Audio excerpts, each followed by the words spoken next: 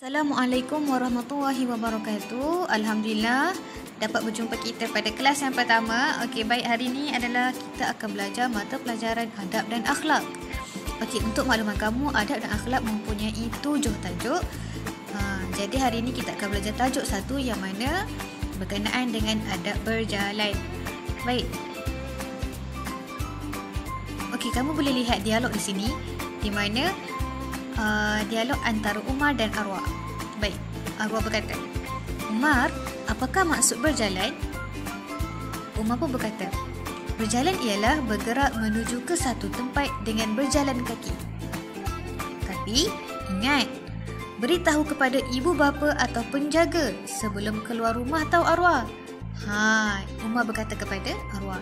So, Arwah pun berkata, baik Umar, Ha, jadi kat sini nak, nak menunjukkan bahawa berjalan itu maksudnya bergerak menuju ke satu tempat tak kisahlah sekolah, masjid atau di mana-mana asalkan niat yang ba yang baik. Okey, baik seterusnya.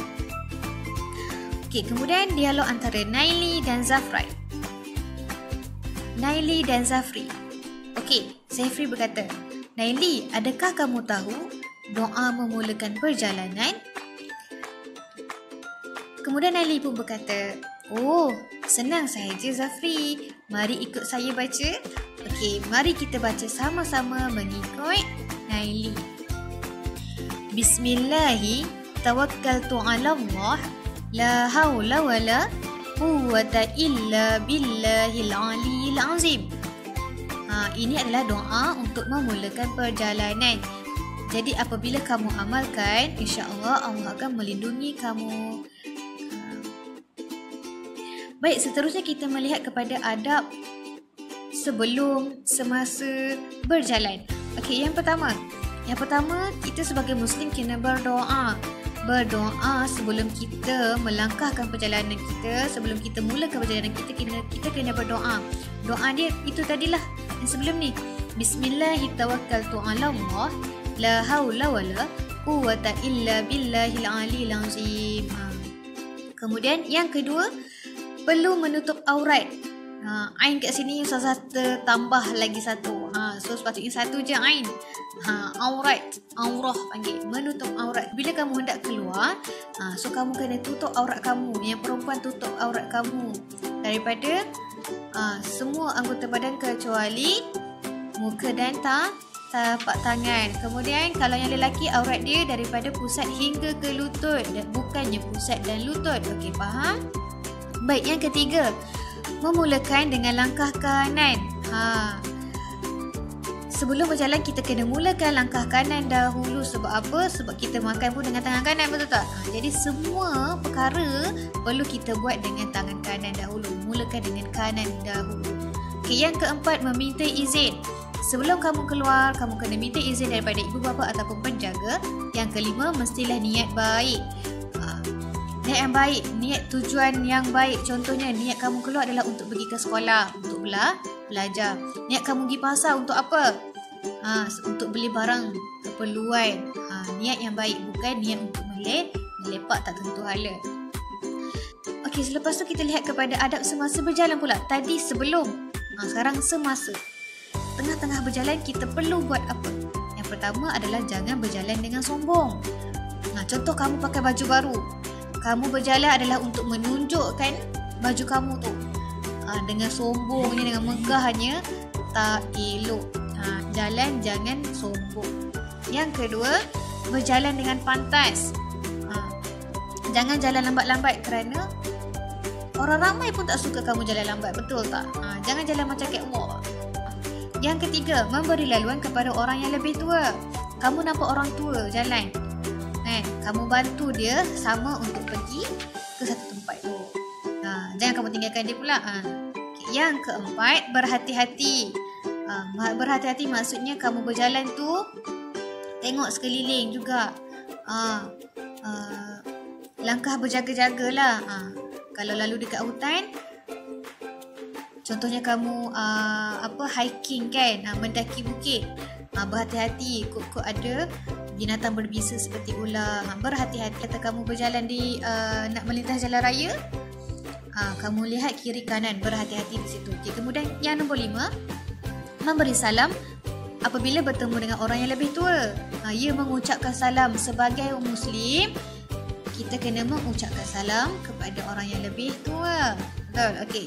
Seterusnya kita lihat kepada adab yang dilarang ketika berjalan. Apa dia adab yang dilarang ketika kita nak berjalan tu? Yang pertama, jangan berjalan di tengah jalan. Ya, maksudnya kat sini jangan menghalang orang lalu kan. Lintas lalu jalan tu. Jalan itu luas. Kamu boleh lalu di tepi. Ha, jangan lalu di tengah-tengah kerana akan ditipu bahaya nanti. Okey, yang kedua, jangan berjalan ketika makan atau minum. Ketika kamu nak makan ataupun minum, jangan berjalan. Duduk. Yang ketiga, elakkan duduk melepak tanpa tujuan. Yang keempat, jangan berjalan di tempat sempit dan kotor. Ha, sebab apa di tempat sempit dan kotor ni siapa je yang suka? Syaitan rajin. Betul? Okey, seterusnya ha, berikut adalah kisah pemuda muslim yang saya nak kongsikan lah. Ha, yang mana satu hari Khalifah Umar Al-Khattab radhiyallahu anhu telah melihat seorang pemuda ni berjalan seperti orang yang sakit. Lalu Umar pun bertanya, Apakah engkau sakit? Wahai pemuda, dia kata itu kan. Pemuda itu pun menjawab, Tidak, Kemudian dengar, Omar dengar je daripada jawapan tu, Omar pun mengangkat cemeti dia. Cemeti itu adalah tongkat dan memukul pemuda itu. Ha, tidaklah terlalu kuat, ha, hanya memberi peringatan je lah. Ha, dia lalu pun memerintahkan pemuda itu untuk berjalan dengan tegak. Okey, Umar marah pemuda itu sebab apa? Sebab Allah Ta'ala tidak suka orang yang berjalan seperti itu. Sedangkan Rasulullah pun berjalan dengan tegak. Betul tak? Ha, dalam sebuah hadis Anas bin Malik menceritakan Rasulullah telah memberi contoh berjalan yang baik. Jadi, kenapa kita tidak ikut sunnah Rasulullah? Betul tak?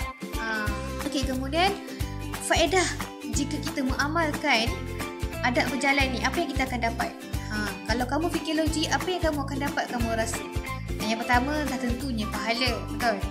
Okay, yang kedua, kamu akan dihormati masyarakat. Apabila kamu mengamalkan adab berjalan, uh, orang ramai akan suka kamu. Uh, jadi kamu pun tak ada musuh, betul? Dia hormati masyarakat. Kemudian yang ketiga, maruah kamu akan terjaga. Uh, maksudnya kat sini, uh, diri kamu tu akan terjagalah uh, daripada sebarang bahaya.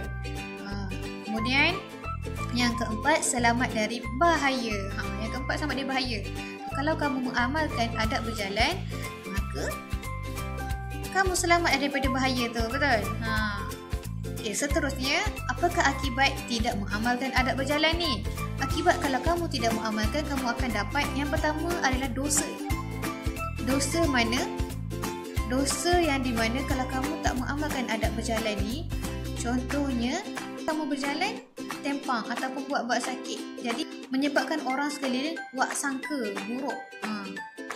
Kan? Bersangka buruk terhadap kamu. Ha. Jadi, kamu dah dapat dosa dah kat situ. Ha. Kemudian yang kedua, terdedah kepada bahaya. Kalau kamu jalan tidak elok, tidak molek, kamu akan terdedah kepada bahaya. Kamu akan jatuh, luka kemudiannya. Ha. Kemudian yang ketiga, dikeji dan dicaci. Ha. Orang tak suka ya, orang yang berjalan dengan lambat ni ataupun dia berjalan dengan sombong. Ha betul orang tak suka kan? Yang keempat tidak disukai orang lain. Ha, ya sama je. Yang yang tiga dan keempat yang tidak disukai orang lain. Yang kelima tidak berdisiplin. Okey, kalau kamu tak mengamalkan adab berjalan ni menandakan kamu ni tidaklah berdisiplin. Orang yang berdisiplin tidak sama sekali. Sebab apa? Kalau orang yang berdisiplin sahaja dia akan jalan pantas dia akan uh, berjalan tu dengan tertib uh, teratur Kemudian kita lihat kepada hikmah kalau kita amalkan adab berjalan. Yang pertama, kita akan dapat erat silaturahim. Ha, untuk mengeratkan silaturahim, kita kena amalkan adab berjalan. Sebab apa? Sebab apabila kamu berjalan, kamu akan jumpa orang ramai, betul tak? Jadi bila kamu uh, mengamalkan adab berjalan ni, kamu senang dapat kawan. Orang pun suka kamu sebab kamu pun beradab, betul? Yang kedua, mewujudkan suasana harmoni. Kamu berjalan, kena senyum. Jangan sedih. Sebab apa senyum tu separuh daripada iman. Dia senyum tu pun sedekah. Betul? Ha, jadi akan dapat wujudkan suasana harmoni. Dan yang ketiga, kamu akan dilindungi Allah Ta'ala. Yang keempat, hidup kamu akan disukai orang lain. Oh, disukai orang ramai, betul. Dan yang kelima, lebih berdisiplin. Um, nak menandakan kamu ni jika mengamalkan adab berjalan, maka kamu ini berdisiplin. Ha, Alhamdulillah. Okey. Sampai di sini saja uh, kelas kita. InsyaAllah jumpa lagi di kelas yang seterusnya. Assalamualaikum warahmatullahi wabarakatuh.